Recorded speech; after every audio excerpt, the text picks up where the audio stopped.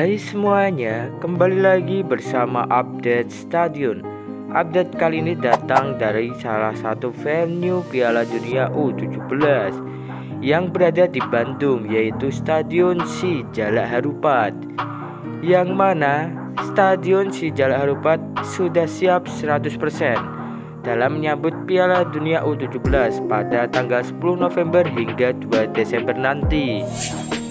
Nampak Ketua Umum PSSI dan PJ Gubernur Jabar meninjau langsung kesiapan Stadion Jalak Harupat. Selain itu, perwakilan dari FIFA tampak juga turut hadir untuk melihat sejauh mana progres kesiapan Stadion Jalak Harupat.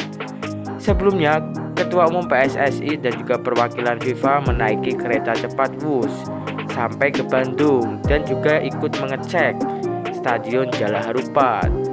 Stadion Jalak Harupat nantinya akan mempertandingkan pertandingan di grup D dan F yang berisi negara Jepang, Argentina, Meksiko, dan negara lainnya. Tampilan terbaru tentu saja rumput yang sudah siap terus dirawat dan juga tampilan baru single seat di tribun utama.